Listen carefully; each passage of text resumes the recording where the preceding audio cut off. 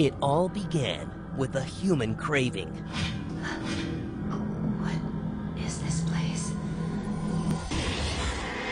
Being scared in a controlled environment is a safe way to face death and then to go home and become boring again. What's going on in this town? It's part of just human nature to the liking to, to be scared, knowing that things are going to be okay. It's, it's like going on a roller coaster. But the early attempts were far from frightening. There were a lot of games that, you know, they tried to be scary in the old days and they just couldn't do it. And technology's footsteps slowly started catching up. It's just fun to be a, a masked guy with a chainsaw and, and hack some stuff up. I didn't want to play it before I was going to bed because I knew that I'd be lying in bed going, oh God, what was that noise? And the debate continues over the gruesome content. Do I think gore is necessary? Well, having never been bitten by a zombie myself, I don't know how much blood would squirt out of my arm. This is a personal thing. I don't think there's any element that should ever be taboo. Ultimately, designing scary games comes down to one very important thing. The thing that we're going after is real fear. I feel like I'm dreaming. Like you would have experienced in your worst nightmares. More like a nightmare, I'd say.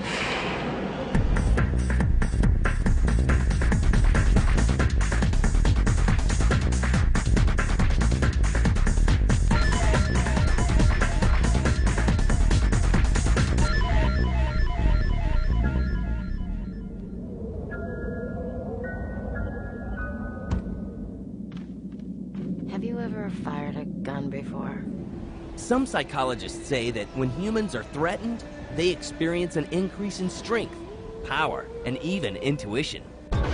This is commonly known as an adrenaline rush. And what better place to experience this than sitting face to face with your favorite scary video games? I think people like anything that sort of gets at their emotions. From a basic feeling, I think it's they just like to get scared and have a little bit of a rush.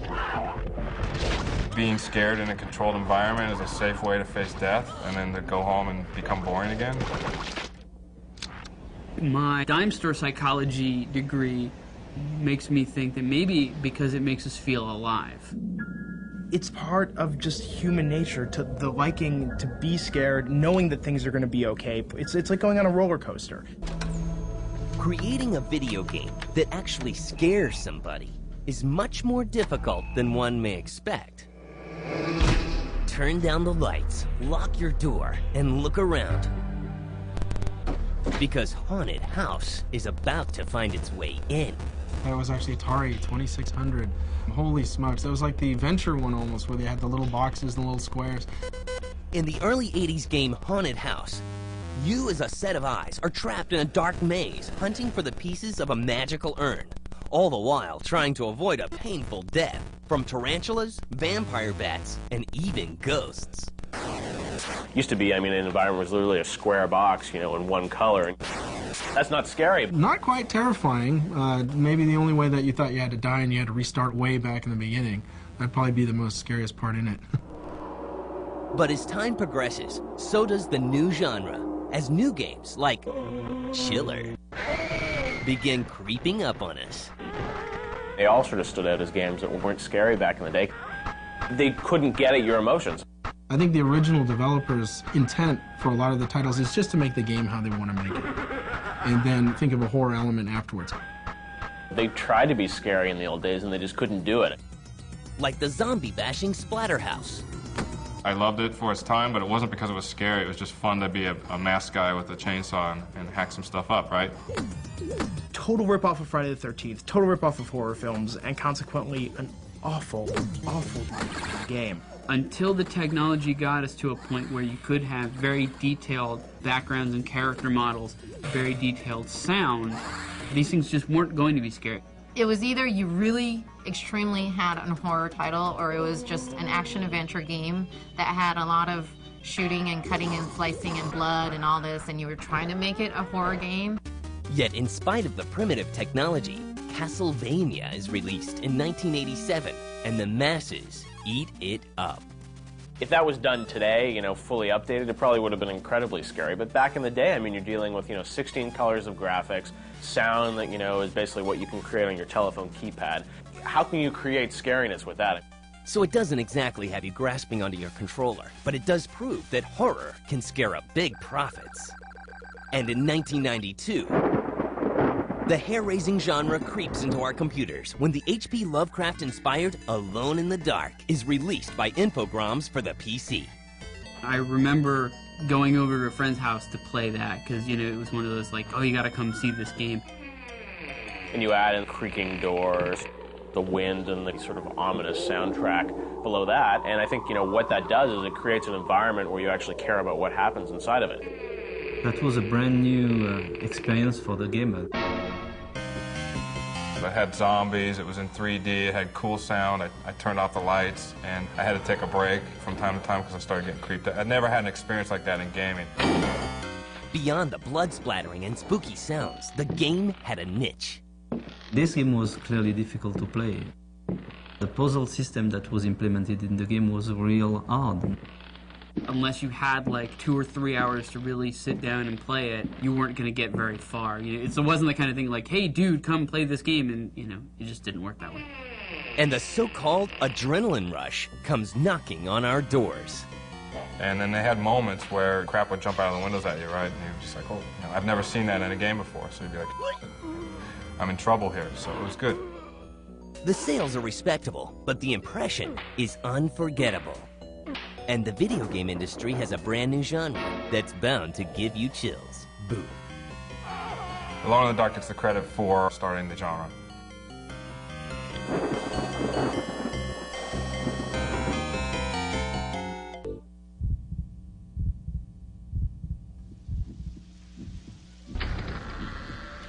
By the early 1990s, the horror genre is slowly making an impact, and gamers across the world are beginning to get spooked.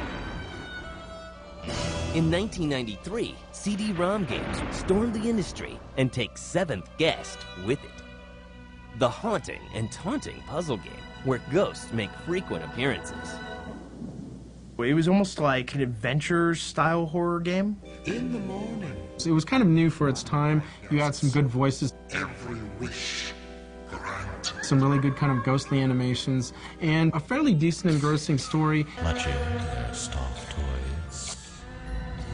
Copycats and sequels like Phantasmagoria and The Eleventh Hour are appearing around every corner, and almost all are gruesomely bad. I think Seventh Guest was a, a better title.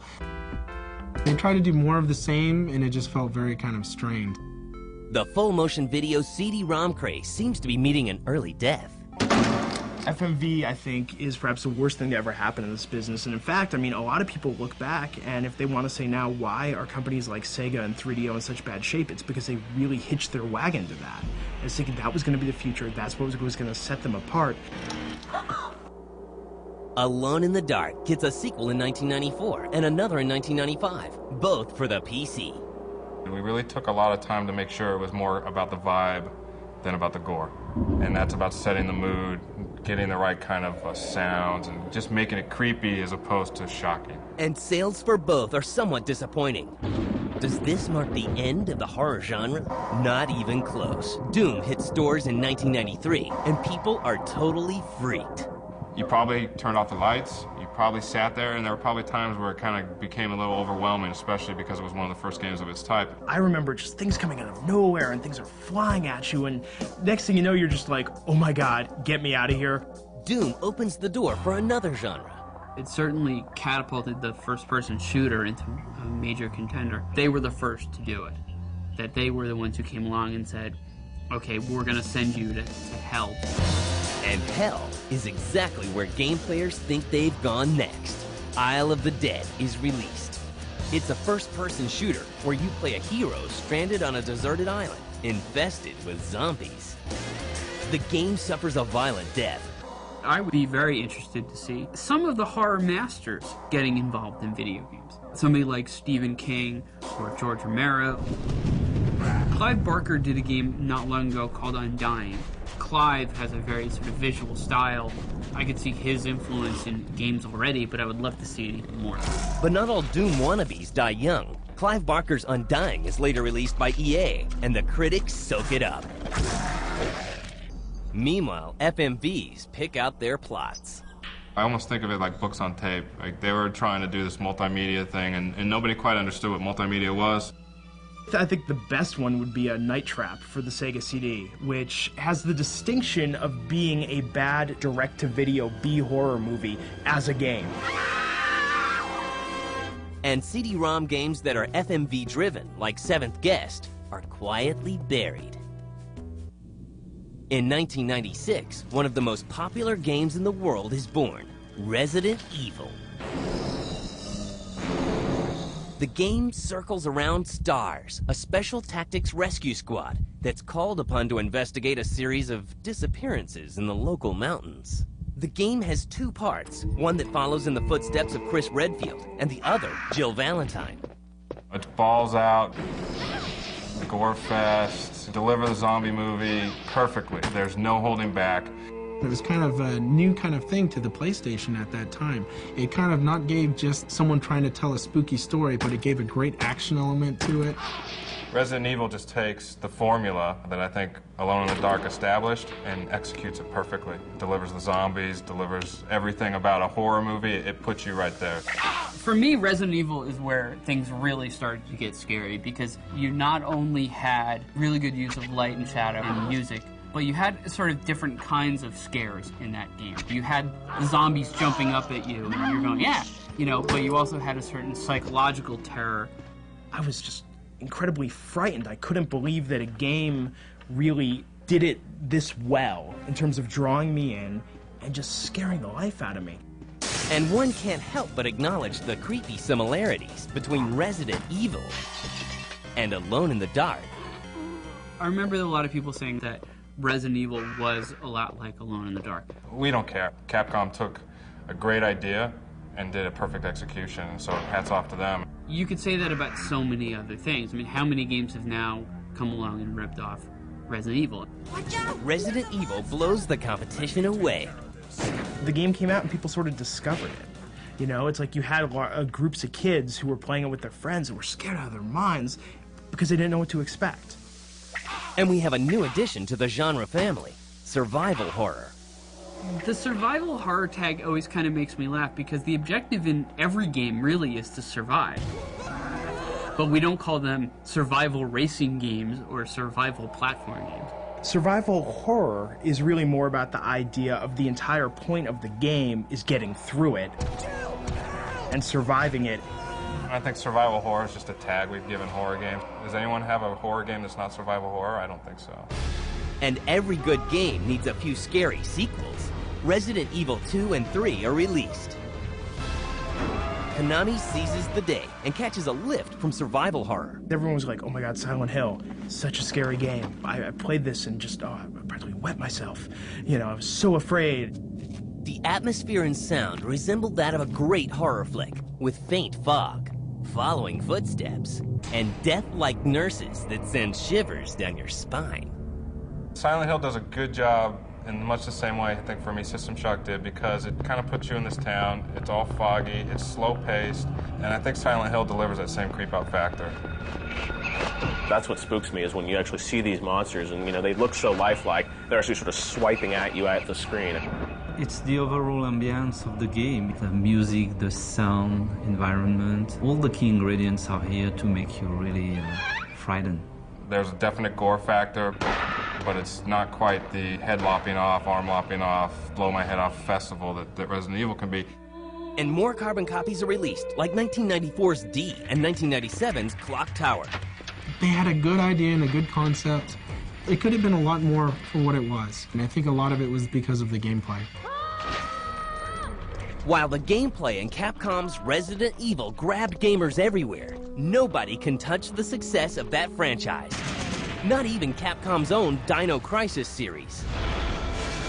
Very much Resident Evil, but with dinosaurs, which made it scary because dinosaurs move a lot quicker than zombies do. Parasite Eve wiggles onto the scene in 1998, the mitochondria mutating role playing game, where the setting feels like Resident Evil, but the gameplay resembles Final Fantasy. It's scary in a way that, yes, there's a lot of shooting and killing the creatures and the mitochondria coming out of the body, fire coming out of the woman's eyes, and that being something that you have to um, defend yourself against and using weapons. Scariest moment for people who really like the creature features would be some of the cutscenes when the creatures start morphing and coming out at you. But scaring video game fans gets out of control with the release of a game that feels too real.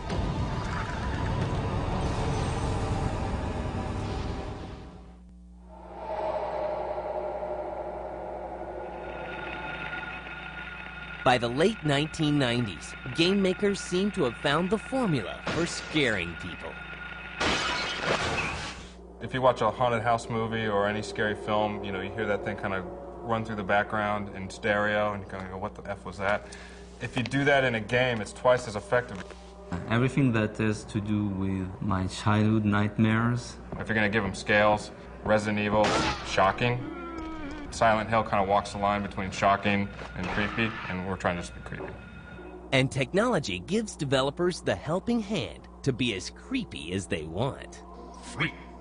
There will be uh, two features that will be uh, dramatically enhanced compared to the previous generation of console. The first one is, is for sure the sound. More and more people are uh, equipped with a true surround system for their uh, DVDs and movie experience. You have the graphic capabilities to create a place that has dark shadows in the corners where things could be hiding, visual effects where things can pop out at you, but it's not just like in an old Atari game where the blip just kind of appears. You know, here you can have like a scary looking monster actually jump out at you from the shadow. By 2000, survival horror is taken to the next level with Resident Evil Code Veronica on the Dreamcast.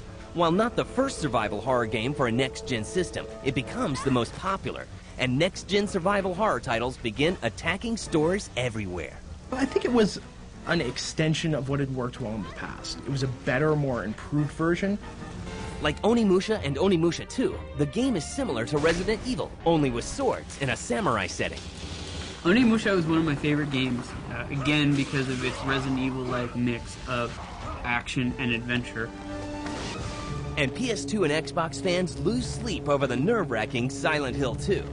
Nintendo wants a piece of the action with Eternal Darkness on the GameCube. And you play all these sort of different characters at the same time on the brink of insanity, and you're battling sort of the same monster. Resident Evil is given a facelift and re-released on the Nintendo GameCube. They did it well. Gameplay is top notch. That's a phenomenal game. It looks beautiful. It's terrific. That is sort of revisiting the past, but it's doing it in an effective way that people like. Is all this gore and violence really a necessity? We need to bring to the player that fear through uh, different aspects, and violence is just a, a way to do it. Do I think gore is necessary? Well, having never been bitten by a zombie myself, I don't know how much blood would squirt out of my arm. But I would imagine that if I was bitten by a zombie, that there would be a certain amount of blood and gore. And so I think if you're going to make a game in which you're trying to be realistic, then gore is necessary. It can be used to embellish the storyline. It's always best when it's kind of like suggested in the background, not super in your face, maybe a flash of the gore. But you can go watch like a Friday the 13th film and you're like, oh, this is so over the top, this is so fake. And I think with games, it's the same thing. Uh, I think if you were to see a game come out there and truly have an accurate depiction of pain and suffering, I don't think people would buy that. I'll be one of those pro uh, free speech kind of guys. This is a personal thing. I don't think there's any element that should ever be taboo. Meanwhile, the genre starts to evolve with Devil May Cry, a game by Shinji Mikami, one of the creators of Resident Evil. The Thing is released in 2002 and proves that video games can instill fear just like horror films. Well, they wanted to do a horror action game that had a little bit different twist to it. So they took my film and they started it right when the movie ended. I think it's a great game. The environment that you're playing in and the backgrounds are just incredibly rendered. They really do look like the movie, and it's amazing to me. Oh, it's hard game. It's not an easy. It's not for wimps. Man, we're gonna die. And the future looks spooky as ever with Silent Hill 3, Onimusha 3, Resident Evil 0, Doom 3, and Devil May Cry 2, all slated to be released in 2003. And across the globe in Japan, one of their scary entries is picking up traction in the US Fatal Frame. You know, you felt like you're actually in someone's, you know, Japanese mansion. One of the best compliments that I can give that game is that after playing it a couple times, I didn't want to play it late at night. I didn't want to play it before I was going to bed because I knew that I'd be lying in bed going, oh god, what was that noise? Uh, when I was playing the game and I was in a completely silent area, I kept hearing this weird humming noise. I thought, what is that? So I turned up the volume um, as far as I could, and you could actually hear all these voices arguing in the background. You know, little details like that I really enjoy. And don't worry, there are plenty more disturbing horror games waiting for you just around the corner. A lot of people complain now that the survival horror genre has been so run into the ground because you see all these Resident Evil ripoffs and it's just the same thing. But look in movies though, it's every couple of years someone finds a way to do it differently. Someone finds a new approach. Survival horror has been done by movies for, say, 50 years. So they went really far into uh, what you could do with that jar.